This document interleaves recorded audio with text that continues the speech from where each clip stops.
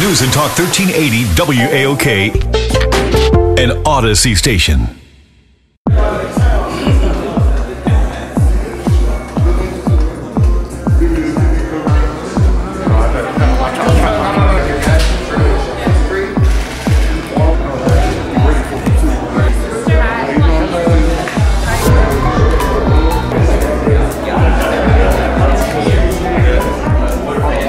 News Talk 1380 WAOK. Austin McCall, nice to meet you for the first time. Dog, you've been famous my whole life. I think I, I like all your movies. I'm keeping the buck, dog. That was for me. So I want to know why the hell are you so nice? Like, why are you been you been nice the whole time? And I want to know if I'm gonna finally get to find out your thoughts on people changing the changing the rules once you start killing them. I'm about to talk in codes, Okay. so you understand. We hear you. When you're a narcissist, you lose everything. Okay. You see people being narcissists now, they're losing everything. Right. That was me. I lost my family around. I lost everything by being arrogant. I lost everything by, by, by, by thinking I was smarter than people. You know, we always talking about having seats at the table. I was at all the tables. But when you're a narcissist, you forget and all that goes away. My mama, who's a church-reared woman, pulled me to the side and said, you need to humble yourself, brother. She didn't talk to me like a son. She talked to me like a lady. Humble yourself, brother. So just because I make more money than you don't mean I should disrespect you as a brother. Just because I, I do this and you don't do that. So once I humble, because listen, I had it going on. I know that. And I just, and then when reality kicked in, when I walked in that 76,000 square foot house, no wife, no kids, no nothing, gone. Everything gone. So at that point, I had to start all over and I had to humble myself. Can I ask you, uh, does this feel like thera- therapeutic almost, like you to get sit Yeah. all by yourself and get all your Yeah, because I'm, because when you grow up with a drill sergeant, there's no excuses. So I'm not allowed to, so I'm not allowed to talk to nobody about that. You have to hold that in. So you know, being so when my guy was director and he asked all the right questions, I was able to release it out. Yep. My last question would be, where do you feel like you would have been without that drill sergeant in your life? And don't without, know. without Big Mama, honestly, you know, Never know. Without that guidance. You never know. Never know. I, I actually, I actually think about that all the time because we all come from the same place. We like what we like. I like that type of music. I like hanging out with them type of people. But you know, my father would say simple like, "If you do it again, I'm gonna kill you." And I would have to think about getting knocked out by him. But it also taught me how to become a leader. Like, okay, we, this dude was talking noise. You about to go stick him up. But my dad said if I did get caught, he gonna kill me. No, y'all go ahead. I'm good. So it just, you know, his his his tough tough love just taught me how to develop uh, critical thinking. As a black kid, like in Atlanta, you know what I'm saying? I read, I read one of your books when I was probably in second grade. It was like you read a regular paperback type of thing. But I remember seeing a section there, you were talking about your pops and everything. And I'm somebody without a dad. You know what I'm saying? So I got to see you talking about like having to do it in your house, and how you was a preacher that was ass whipping. It's like it's somebody running around, Yeah. running from ass whipping. Yeah. So I just, you know, so I want you to know. Thank you, bro. Appreciate that. Nice to meet you. Yep. News and Talk 1380 WAOK. My name is Austin McCall. How you doing? Good. Good to Rob, meet you. nice to meet you, brother. Pleasure. Rob, nice to meet you, brother. So you are one of the directors of the docu- I'm the director. Lead director. I'm the director, yeah. What was it like working with the big guy? Uh, it was great. I mean, he is a an icon, and he's a presence, and he's a force, and uh, he's honest on camera, off camera. So it's a super, super genuine experience. Was this your first time doing a docu series or documentary at all? Okay. I make film and television, commercials, a whole bunch of stuff. What Yeah. would you say the difference is uh, doing a docu series for an athlete or one of the greatest athletes of all time versus you know doing one nor- uh, the usual It was not that, right? Uh, I think that um, I mean it's you know it's a different thing with an athlete because I feel like you know I've worked with artists, I've worked with actors and a lot of different performers, and they approach their craft very differently. I think there's such a born from earth thing that exists from some of these athletes. You know what I mean? Yeah. So um, it, it's just like this thing that they don't even think about. They don't even like. It's this innate thing in them that they're like, we we appreciate, you know, but he doesn't. He doesn't think anything that he's this big. It's just like this, is just who I am. You know what I mean? Yeah, he doesn't understand it. So, there's what- something like that. So uh, when you were making this film, what did you? What was the what was the story you were trying to tell? What did you want to bring out? I mean, whatever was honest. I mean, there's really no way to force anything like that. Like, I can have an agenda. Yes. I want to talk about his career. I want to talk about Lakers. I want to talk about championships. I want to talk about him uh, aging out and realizing I can't play at a certain level anymore. But it's really about whatever exists organically. You know what I mean? So it all depends. Do you feel like my last question would be? Do you feel like you accomplished the goal you were trying to reach? It's a beautiful film. We did great, man. It's a beautiful. I can't wait to see it, man. News and Talk 1380 WAOK. Austin McCall. I'm here with Jamal Harrison, the younger brother. the younger brother. You tell me what it's like being the younger brother of the big man. Uh, it's interesting, you know. You you come a long way from waking up side to side, eating Pac-Man cereal to just Y'all was eating like boxes or bags of cereal. You know what I'm saying? boxes, man. Okay, okay. I, I won. bag. I had the bag. It tastes the same. Boxes, yeah. Boxes of cereal. It's, it's it was interesting. Our breakdancing days and everything like that. Yeah, yeah, On the I yeah. All that. That's what we did, man. So what was it? was it- Shoestrings. So what? The shoestring, yeah, he Oh, I used thought to. you said He used to. He that too. He used to walk me up to the commissary. He used to go in there and get the new shoestrings. Then we used to battle the other kids in the neighborhood. We'd win. Hey, that's what it was. What, what was it like when y'all when you saw everything change like in like like that? It was. It was different. You know, it was just like okay. Now it's getting real. Now it's getting serious. Cause I didn't, you know, at first, you, first you dream about stuff like this, but then when it's actually like a reality in your face, and then you got people coming from here, you got people from coming from over there. It's just, it's a whole, it's surreal. I got like a couple homeboys that like for some like out of you know through the grace of God they done made it like either Yeah. I got one homeboy that might be an NFL Hall of Famer. You know what I'm saying? But the one thing that that I feel is that stay the same. Like, what's it like to see somebody get millions of dollars and stay the same? Because I know how it hit me. It Well- the way you think about money for me. me i mean i try to tell people that i personally know. Like you know you, you can't change you know a zebra can't change its stripes. So you gotta you gotta stay the same man because if you don't you know you can lose your mind. You know that's just what it is. We, we was always taught to stay humble and then that's what we did you know? And that's a good thing we stay humble and we you know we was raised by a great woman and that was that's what it is and a great father the first superhero. Yeah. So was it? So all right, you taking all this in, you know what I'm saying? You got your brother's documentary, like a documentary about your brother's life, like your dog, the Right. person you was fighting with. What's it like for you to be here in this moment with your with your own son? That was your son, right? That, that was walking with the hat. yeah What, what's it like, bro, to be be here right now? to show him how we lived and how we grew up. He don't he don't understand it now, but the one that's older, he got right? yeah. Okay. The one that's older, he got he got like the, the the bun on his head. Where's he Oh, I at? see him. He had the suit on. He Yeah. probably went and sat down. Nah, he over there. Where's he? Sat down, but yeah, for him to the understand, yeah, for him to understand, because he's playing basketball now, so I'm trying to school him in the ways of how we grew up and let him know, look, this is how it's gonna go. Yeah. It ain't. I mean, I know you're living in a different time with the social media and everything like that, but it's still the same. The only thing that changes is the name and everything like that. It's still the same. You listen, go to school, get good grades. It is what it is. That's how we got to do it. Thank you for making the first superhero. And what was it? It's, it's big, big guy, big guy, man. Mm-hmm. You want to get tell my viewers what is your name, ma'am? My name is Dr. Lucille O'Neal. Dr. Lucille. What's it like being here in this moment at your at your own child's documentary? Like they they, they here documenting your son, like the, the boy you had to throw over your knee. They talking about him like this. What's it like?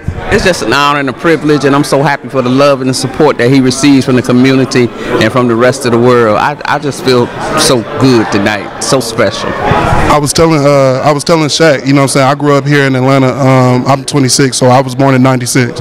But when I was in elementary school, we used to have the book fair and they would have his book of the y'all life, you know what I'm saying?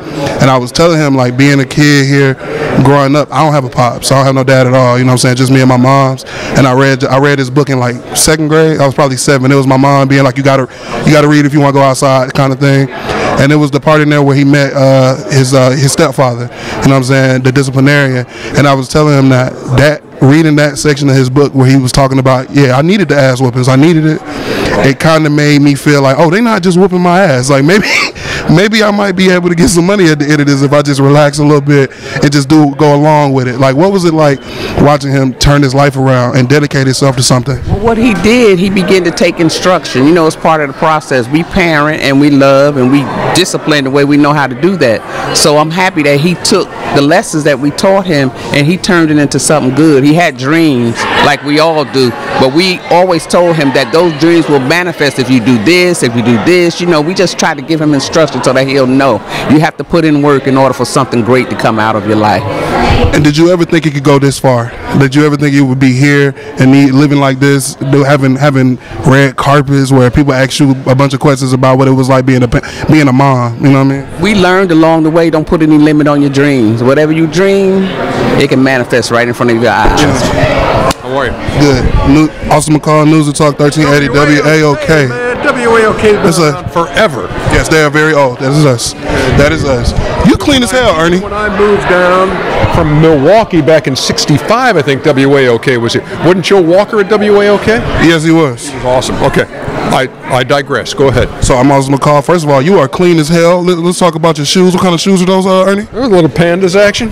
we know the name, y'all. I love Ernie. Ernie, can I? First off, I want to ask you about your foundations and all of the work you do outside of the sports world. So can you talk about the foundations that you had and things like that? Well, my wife and I, our our foundation is is uh, in honor of our son, our late son Michael, the Love You Too Foundation, uh, and so we, you know, we like to benefit any children's charities that we can. We're just trying to, you know, like we're big fans of adoption. We're big fans of the Muscular Dystrophy Association uh, because they're very close to us, and and so we're always just looking at kids and saying, how can we help?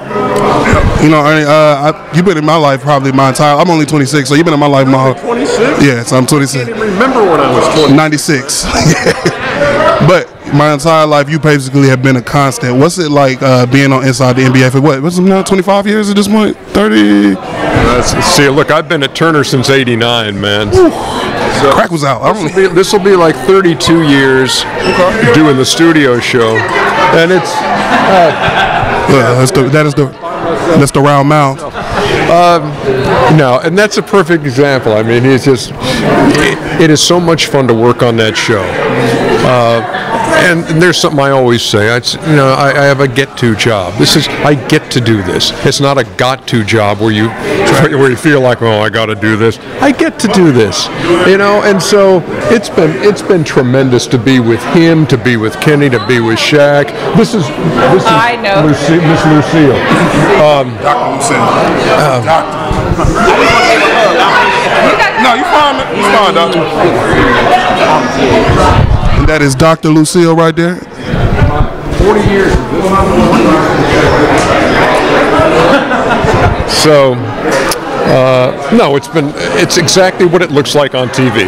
It's it's as much fun as you can possibly have, and um, and great guys to work with. Man, I appreciate you. I appreciate you being an uh, ally all these years for us. You know what I'm saying? I appreciate you doing a dap and not a handshake. I see you. You know what I'm saying? I see you, Ernie. Uh, you have a good day. Yeah. Talk 1380 WAOK was good. Chuck's was good. Yo, this is my first time ever meeting you. I just, damn, you're not that much taller than me. How, 10 a game? 10 a game every game? Hey, come on, man. Every Don't- game? Don't, be confused by my size. I'm explosive. 10 a game, bro. No, I've been lucky and blessed, man. I was very explosive. My ability to dribble probably was my biggest asset. You look crazy in the, in the, Because them big guys don't want to move their feet, man. They want to beat you up. I was looking at, bro, when my, uh, when my uncles used to tell me to go back and look at the real footage of you, like the real footage of you on the Sixers to see what it was really like. And then when you was on the Suns, of course, the best, Yeah. player, best player in the league, one of the best players in the league, whatever people want to argue, it was crazy. So to find out that you was only 6'5", at the uh, 6'5", 6'6", and you 10 a game for your Yeah. whole career against Yeah. boys, it's insane. Oh man, I've been lucky and blessed. You know, you know the um, I, I I'm just that's all I can say. But you know, I get the chance to work this big old fool every week, which is really cool and a lot of fun. What was it like when he come when, when this dude just shows up in the league one day? I was born in '96, so I don't know what was going on before Shaq. Yeah. Well, I think the difference between Shaq is, you know, there's a lot of tall guys, and some of them were fat or heavy, or some of them were tall and lanky. Shaq was the first guy who came in who was long and lean, who could run and jump, and it was a scary thing. I mean, to be that big, that athletic, man, it was a scary thing. So what was it? Like? I mean, you saw his you saw his career from beginning, and you got to call it at the end. What was it like when you had to tap your dog on the shoulder and say, you know what, let's just bring it on home, baby? No, it, it ends for everybody. But he's on the Mount Rushmore of some of the greatest players to ever play this game. As are you. Yeah, uh, thank you, brother. And uh, but man, I'm just glad to be working with him, and it's a lot of fun to work with him. And let me ask you before I let you go, because I know you ain't trying to keep asking questions. Talk about any of the foundations that you had and what it's like being the head of foundations now. Uh, just being from Alabama, being from the South, and now you running all of these different things. Well, I think it's important for me. I'm trying to do some good stuff, and uh, I just gave my six million dollar to historically black colleges. Damn. Which is really cool. Six million dollars. Yeah, uh, I did. I did uh, I've been trying to do a million a year, and I just finished my sixth one, which was Spelman. So I'm just trying to do good stuff, man. I've been lucky and blessed, and I'm gonna keep doing good stuff. Man, we appreciate you here from Atlanta, dog. Thank So, you. Nah, I'm here with the legendary Drumma Boy, oh, really? legendary Atlanta producer. Yes, sir. Hey, yeah, boy, fresh out of Memphis was happening. You know, you know my uncle, right? Who is that? Nard. Oh, come on. Big Nard. Come on, man. man. He been. I told. He told me.